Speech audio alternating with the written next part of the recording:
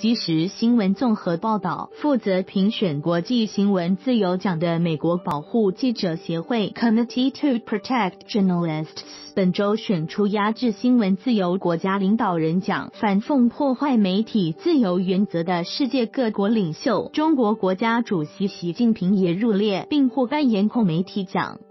据美国之音报道，美国总统川普近日在推特上称将颁发年度最不实腐败媒体奖给攻击批评他的媒体。美国保护记者协会则在本周一八颁布压制新闻自由国家领导人奖，作为反旗。获奖人包括中国国家主席习近平。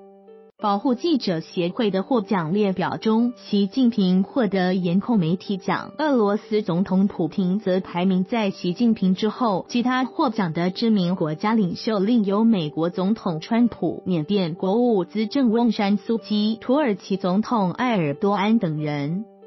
保护记者协会形容习近平其日益强大的铁腕将审查制度和网络管理相结合，压制有意义的新闻媒体，并称中国是全球媒体界最糟糕的狱卒。不仅政府控制着多数传统媒体，记者若冒险触犯新闻审查底线，恐会失去工作或被禁止旅行。记者的消息来源和国际记者也会受到骚扰。